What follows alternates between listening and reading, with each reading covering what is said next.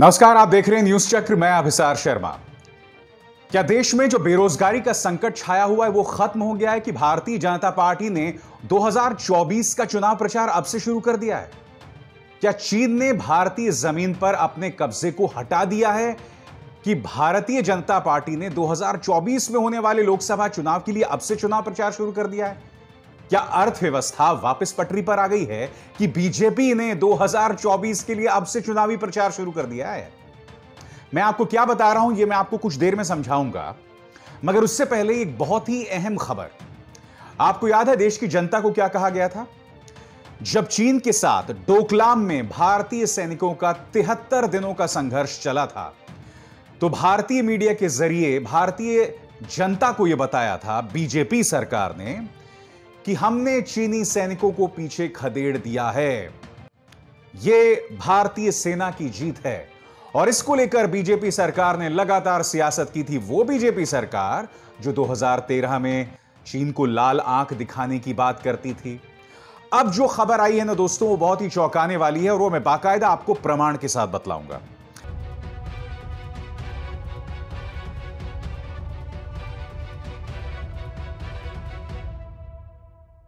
सबसे पहले, सैटेलाइट के ज़रिए हासिल की गई इन दो तस्वीरों पर मैं आपका ध्यान खींचना चाहूँगा।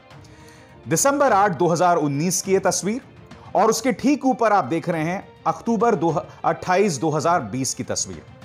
और सैटेलाइट के हवाले से ये जो तस्वीरें मिली हैं, वो क्या कहती हैं, वो नीचे लिखा हुआ है। डोकलाम में भूटान सीमा से ढाई किलोमीटर की दूरी पर स्थित पंगड़ा गाँव जहाँ 8 दिसंबर 2019 और 28 अक्टूबर 2020 को निर्माण गतिविधियों से स्पष्ट सबूत मिले हैं। अब आप कहेंगे, किस बात के निर्माण सबूत? तो मैं आपको बता दूँ कि सैटेलाइट इमेजेस से यह पता चला है कि डोकलाम के अंदर चीन ने बाकायदा गाँव खड़ा कर दिया है। गाँव बसा लिया, यही नहीं दोस्तों, उसने 9 किलोमीटर लंबी एक सड़क भी बना ली है। उसका प्रमाण सैटेलाइट के ज़रिए मिली इस तस्वीर के ज़रिए जो आपकी स्क्रीन पर है। आप देख सकते हैं, न्यू नाइन किलोमीटर रोड साफ़ तौर पर लिखा गया है। और भारत और चीन के सैनिकों के बीच जो टकराव हुआ था, उस जगह का नाम था डोका ला। क्लैश पॉइंट उसका भी ज़िक्र किया गया है। अब मैं आपको इन सैटेलाइट तस्वीरों के बारे में एनडीटीवी की रिपोर्ट क्या कहती है वो पढ़ के सुनाना चाहूँगा दोस्तों। एनडीटीवी ने उस high resolution satellite imagery satellite imagery का विश्लेषण किया है, जिसमें भारत से सटे भूटान की सीमा क्षेत्र में चीनी निर्माण के सबूत छिपे हैं। सैटेलाइट इमेजरी की एनालिसिस से साफ़ पता चला है कि चीन ने डोकलाम पठार के पूर्वी हिस्से पर भूटानी क्षेत्र के भीतर दो किलोमीटर की दूरी पर न केवल गाँव बसाया है, बल्कि चीन ने भारतीय सीमा क्षेत्र तक पहुँचने, पहुँच रखने वाली 9 किलोमीटर लंबी सड़क भी बनाई है। यह समझा जाता है कि यह सड़क चीनी सेना को जोम्पेलरी रिज तक पहुँचने में वैकल्पिक रास्ता दे सकती है, जिसे भारतीय सेना ने 2017 में चीनी सेना के साथ डोकलाम में हुई झड़प के बाद रोक दिया था। तब चीनी निर्माण श्रमिकों ने डोकाला में भारतीय सेना की चौकी के पास अपने मौजूदा ट्रक को बढ़ाकर झोंपिलेरी रिज तक पहुँचने की कोशिश की थी, लेकिन भारतीय सैनिकों ने उनके मंसूबों को नाकाम कर दिया था। तीन मैप्स मैंने आपको बताया, एक 2019 का, जिसमें साफ़ तौर पर देखा जा सकता है कि कोई गाँव नहीं बसाया गया है। फिर 2020 का ये मैप या सैटेलाइट इमेज, जिसमें साफ़ तौर पर देखा जा सकता है कि गाँव बसा दिया है चीन ने, और अब ये, जिसमें ये दिख रहा है कि चीन जो है उसने 9 किलोमीटर लंबी सड़क बना ली है, जिसके ज़रिए वो आसानी से भारत तक पहुँच सकता है। अब यह खबर देखिए जो आपकी स्क्रीन पर है।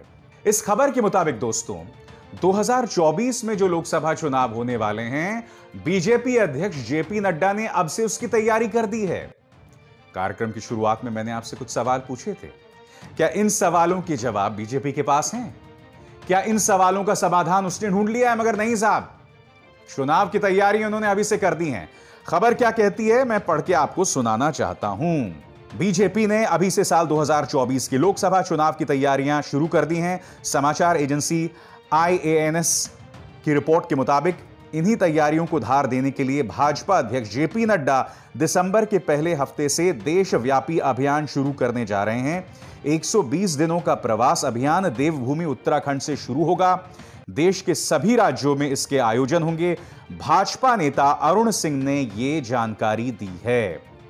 अब मैं जानता हूँ आप लोगों में से कई लोग क्या कहेंगे कि भाई, जेपी नड्डा तो पार्टी अध्यक्ष हैं, राजनीतिक कार्रवाई करने का उन्हें अधिकार है। तो मैं आपको बतला दूँ कि पूरे बिहार चुनाव में गृह मंत्री अमित शाह ने एक भी रैली नहीं की थी और आप जानते हैं क्यों? क्योंकि उनकी तबीयत ठीक नहीं थी। मगर उसके बाद जैसे ही उनकी तबीयत ठीक हुई, वो सीधा पश्चिम बंगाल पहुँच गए थे। पहुँचे थे कि नहीं पहुँचे थे? तो देश के गृह मंत्री अमित शाह भी अभी से चुनाव की तैयारियों में जुट गए वो हालाँकि पश्चिम बंगाल की चुनावों की तैयारियों में जुट गए थे। इससे पता चलता है कि भारतीय जनता पार्टी की जो चुनावी मशीनरी है ना दोस्तों, वो कितनी आक्रामक है। वो किस तरीके से काम करती है। और यही नहीं, देश की जनता में, देश की जनता के मन में अपनी जगह को बनाने के लिए जिस तरह के माइंड गेम्स बीजेपी खेलती है ना, वो गजब का है। मैं आपको एक छोटी सी मिसाल देता हूँ दोस्तों। यह है प्रधानमंत्री नरेंद्र मोदी का एक बयान। और यह बयान क्या कहता है, इस पर गौर कीजिए।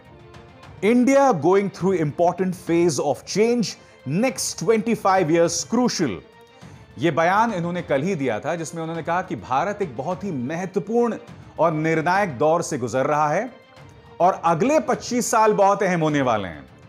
यानी कि अगर आप बिटवीन द लाइंस पढ़ें और प्रधानमंत्री के भाव को समझें तो उसको, उसके ज़रिए वो ये बतलाने की कोशिश कर रहे हैं कि अभी जो व्यवस्था चल रही है, अभी जो सरकार चल रही है, उस पर आप अगले 25 साल भी एतबार कीजिए और चीज़ें जो हैं परिवर्तित होती रहेंगी। भारतीय जनता पार्टी ने बहुत ही खूबसूरती से गोल पोस्ट चेंज करने का काम किया है।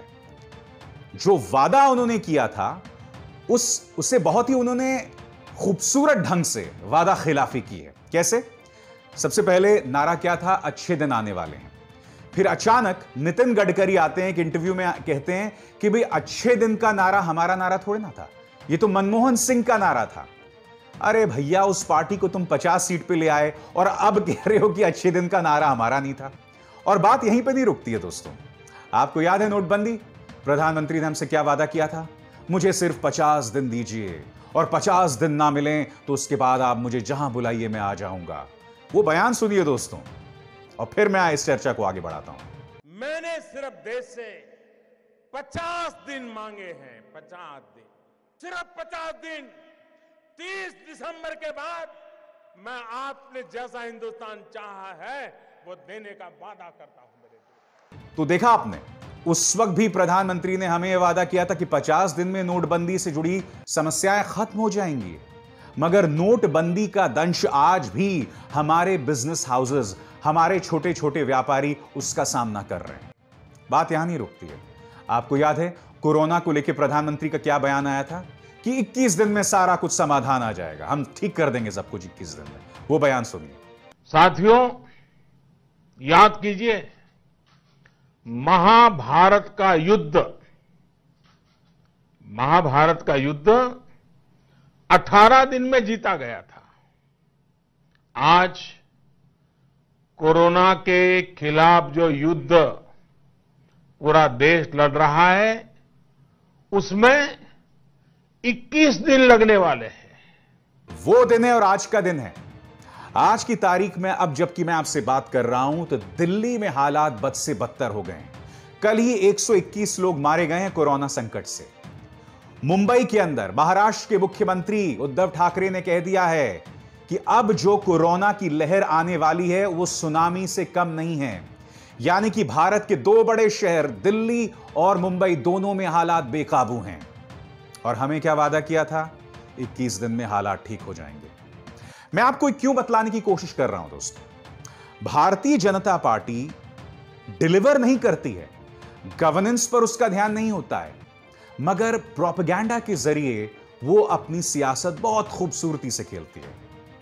अब आप कहेंगे, हर राजनीतिक दल को खेलने का अधिकार है बिल्कुल है। क्यों नहीं है? मगर आप सरकार चला रहे हैं। आपके हाथ में ताकत है, आपके हाथ में सत्ता है और उससे भी बड़ी बात, आपने लोगों से वादा किया था, उस वादे का क्या हुआ? उस वादे को आप कैसे भूल गए? क्या यह सवाल उठना लाजमी नहीं है? और दूसरी तरफ़ मुख्य विपक्षी दल कांग्रेस की भी हालत देख लीजिए। इस तस्वीर में देखिए, राहुल गांधी इस वक्त अपनी माँ सोनिया गांधी के साथ गोवा पहुँचे हैं। यह बताया जा रहा है कि कांग्रेस अध्यक्ष सोनिया गांधी की तबीयत ठीक नहीं है और अपनी माँ के साथ राहुल गांधी गए। देखिए, इस पर मैं कोई टिप्पणी नहीं करूँगा क्योंकि बात माँ की आ जाती है और आप जानते हैं यह देश वो देश है जहाँ माँ का दर्जा सबसे ऊपर होता है। और यह देश वो भी देश है जहाँ लोग अपनी माँ को नोटबंदी की लाइन पर लगाकर उस पर सियासत करते हैं या माँ के साथ फ़ोटो खिंचवाते हैं। तो माँ पर तो मैं टिप्पणी नहीं करूँगा, दोस्तों। मगर कांग्रेस के अंदर क्या घमासान चल रहा है, ये मैं आपको बतलाना चाहता हूँ। आपकी स्क्रीन पर ये गुलाम नबी आज़ाद। कल इन्होंने एएनआई को इंटरव्यू दिया और क्या कहा आपकी स्क्रीन पर? चुनाव पाँच सितारा होटलों से नहीं लड़े जाते। हमारे नेताओं के साथ दिक्कत क्या है? एक बार उन्हें पार्टी की टिकट मिल जाए, तब वो पाँच सितारा होटल में एक रूम बुक करवा लेते हैं और उसके बाद वो किसी भी ऐसी सड़क का रुख नहीं करते जो कच्ची हो या जहाँ खराब सड़क खराब खराब सड़क हो। हम चुनाव नहीं जीत सकते जब तक हम इस संस्कृति को ना बदलें। और आगे क्या कह रहे हैं गुलाम नबी आज़ाद? इस पर भी आपकी निगाह होनी चाहिए। वो कहते हैं हम सबको इस बात की चिंता है कि बिहार और उपचुनावों में हमें हार का सामना करना पड़ा। मैं नेतृत्व को इसका दोष नहीं देता हूँ, मगर हमारे लोगों का ज़मीन से जो कनेक्शन है वो टूट चुका है। हमें अपनी पार्टी से मोहब्बत करनी चाहिए, ये गुलाम नबी आज़ाद कह रहे हैं। यानी कि एक तरफ़ भारतीय जनता पार्टी जो है, वो चुनाव प्रचार शुरू कर चुकी है और कांग्रेस के अंदर जूतम पैजार चल रही है। मसलन, कांग्रेस के एक युवा नेता, श्रीनिवास ने गुलाम नबी आज़ाद का कैसे जवाब दिया आपकी स्क्रीन पर? जिन वरिष्ठ नेताओं को मर्यादा की मिसाल पेश करते हुए संगठन की गरिमा रखना चाहिए, वो ही मर्यादाओं को तार तार करने में लगे हैं। लेकिन शहादतों और समर्पण के बल पर खड़ा हुआ यह संगठन कल भी मज़बूत था, आज भी मज़बूत है और कल भी मज़बूत रहेगा। कांग्रेस पार्टी जिंदाबाद। ये कोई और नहीं दोस्तों, बल्कि कांग्रेस के एक युवा नेता किसके जवाब में बोल रहे हैं? ये जवाब दे रहे हैं गुलाम नबी आज़ाद का। मगर मैं आपको क्या बतलाने की कोशिश कर रहा हूँ? एक तरफ़ हमारी सत्ता पार्टी है, जो सिर्फ़ सियासत करती है, जिसकी सियासत भी ऐसी है जिसके ज़रिए लोगों को हिंदुओं और मुसलमानों में बांटा जाता है। हम में खाइयाँ पैदा की जाती हैं और एक तरफ़ हमारी महान विपक्षी दल है, वहाँ किसी को होश ही नहीं है। मतलब कांग्रेस अध्यक्षा सोनिया गांधी की तबीयत खराब है, मैं समझ सकता हूँ, मगर ऐसे मौकों पर अगर तमाम नेताओं को राहुल गांधी में विश्वास है तो राहुल गांधी को ज़िम्मेदारी लेनी होगी। या कम से कम आप संगठनात्मक चुनाव करें जिसमें पारदर्शिता हो, जहाँ एक गैर गांधी जो है, वो पार्टी का अध्यक्ष बने और उसे पूरी आज़ादी हासिल हो कि वो पार्टी में फेरबदल कर सके। मगर सबसे बड़ी बात कि गांधी परिवार जो है वो सत्ता से अपना मुँह भी नहीं पीछे खींच सकता और ज़िम्मेदारी भी नहीं लेना चाहता है। तो देश की जनता की तो जैसे कहते हैं ना कि ऐसी तैसी हो गई है। ना सरकार काम करना चाहती है, ना मुख्य विपक्षी दल। यह हालत है देश की। और अब मैं आपके साथ चर्चा करना चाहूँगा तीन खबरों की त्वरित अंदाज में। न्यूज़ चक्र में जिन त्वरित खबरों की मैं चर्चा करने जा रहा हूँ, सबसे पहली खबर है ये। आप जानते होंगे कि महाराष्ट्र के राज्यपाल भगत सिंह कोश्यारी ने बाकायदा गृह मंत्री अनिल देशमुख को एक खत लिखा था, जिसमें उन्होंने कहा कि यह शख्स अर्नब गोस्वामी जो उस वक्त जेल में था, इसका आप लोग ख्याल रख रहे हैं या नहीं रख रहे हैं? यानी कि इससे बेचारे को कोई तकलीफ़ नहीं होनी चाहिए। यह लेटर बाकायदा भगत सिंह कोश्यारी ने गृह मंत्री अनिल देशमुख को लिखा था।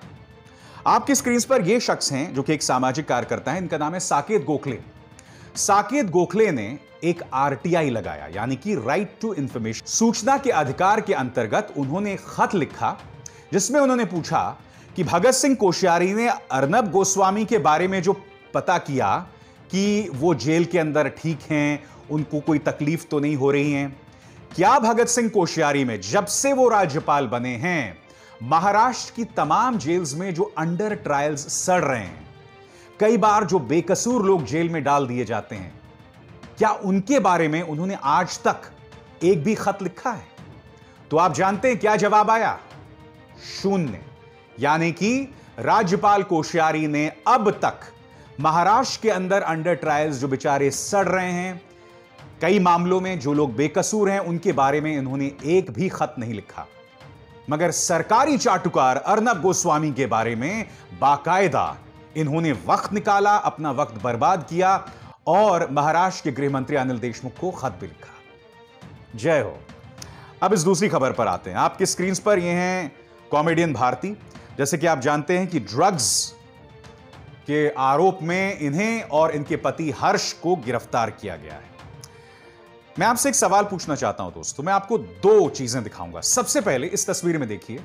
यहाँ भारती के आसपास भारतीय जनता पार्टी का गमछा देख सकते हैं और उनके साथ स्वर्गीय अरुण जेटली हैं। और अब यह वाली तस्वीर देखिए, हर्ष जो इनके पति है ना, इन्होंने प्रधानमंत्री नरेंद्र मोदी पर जो फ़िल्म बनी थी, पीएम नरेंद्र मोदी, वो इसके राइटर थे। मैं आपसे सवाल पूछना चाहता हूँ, अगर भारती ने इस तरह की तस्वीर राहुल गांधी के साथ खिंचवाई होती, या फिर हर्ष जो हैं वो किसी तरह से कांग्रेस के साथ जुड़े होते तो तमाम गोदी मीडिया चैनल्स जो हैं, उसी तस्वीर को पूरे जोरदार तरीके से चलाते मगर क्या आपने किसी भी मुख्य धारा की चैनल में भारती की इस तस्वीर को देखा? या किसी चैनल में इस बात की चर्चा होते हुए देखा कि हर्ष, जो कि भारती के पति हैं, जिन्हें गिरफ़्तार किया गया है, वो पीएम नरेंद्र मोदी के राइटर हुआ करते थे? नहीं ना? खैर, अब हम बात करना चाहेंगे न्यूज़ चक्र में आज की तीसरी त्वरित खबर की। आपके सामने यह है बीजेपी नेता कैलाश विजयवर्गीय का बयान। उन्होंने क्या कहा आपकी स्क्रीन पर? बीजेपी नेता ने कहा, पश्चिम बंगाल पुलिस को अगले विधानसभा चुनावों से दूर रखा जाए। यह बहुत अहम बयान है और इसका एनालिसिस मैं कुछ इस तरह से करना चाहूँगा। यानी कि दबे स्वर में जिस बात की चर्चा की जाती रही थी, उसकी ज़मीन तैयार की जा रही है। यानी कि पश्चिम बंगाल में राष्ट्रपति राष्ट्रपति शासन लगाने की ज़मीन तैयार की जा रही है। क्योंकि मैं आपसे पूछना चाहूँगा कि पश्चिम बंगाल की पुलिस पोलिंग बूथ से या विधानसभा चुनाव से दूर कैसे रहेगी? यह तब तक नहीं होगा जब तक पुलिस केंद्र सरकार के या राष्ट्रपति शासन के अंतर्गत ना आए। यानी कि ज़मीन यहाँ तैयार की गई है। मगर मैं कैलाश जी से कुछ और पूछना चाहता हूँ। कैलाश जी आप कह रहे हैं कि पश्चिम बंगाल पुलिस को अगले विधानसभा चुनावों से दूर रखा जाए? आपको किस बात का डर है? क्योंकि जब बिहार के चुनाव हुए थे तो कई स्वतंत्र जानकार और तेजस्वी यादव, आरजेडी के नेता, कांग्रेस के नेता लगातार कह रहे थे कि नीतीश कुमार ने बाकायदा प्रशासन का इस्तेमाल करके कम से कम पाँच सीटों के चुनावों के नतीजों पर असर डाला है। हुँ? तो यह शिकायत वो लोग वहाँ कर रहे थे। तो तब आप लोगों ने उसे सिरे से खारिज कर दिया था यह कहते हुए कि जो हार जाता है, वो इस तरह की बातें करता है। तो मैं आपसे कह रहा हूँ कि जो तर्क आपने बिहार में लगाया, वो तर्क आप पश्चिम बंगाल में लगाने को तैयार क्यों नहीं है? आप पश्चिम बंगाल की पुलिस पर एतबार क्यों नहीं करते हैं? बिल्कुल उस तरह से, जिस तरह से आपने बिहार के विधानसभा चुनावों में वहाँ के प्रशासन पर एतबार किया। सही कहा या गलत कहा मैंने, दोस्तों? तो न्यूज़ चक्र में बस इतना ही। अभिसार शर्मा को दीजिए इजाज़त। नमस्कार।